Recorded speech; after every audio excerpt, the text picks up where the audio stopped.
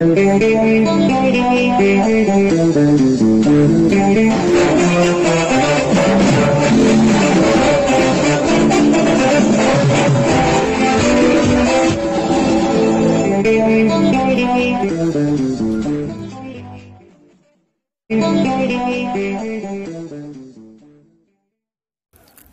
Motorcycle की आपस में टक्कर, एक व्यक्ति घायल। जानकारी के अनुसार, दिनांक 17 अक्टूबर को लगभग पाँच बजे डायल हंड्रेड को सूचना मिली कि सेवड़ा के पास नेहला की पुलिया पर दो मोटरसाइकिल आपस में टकरा गई हैं, जिसमें सुनील पुत्र शिव कुमार दौरे, निवासी कोठौंद, जिला जालौन, उत्तर प्रदेश घायल हो गया है।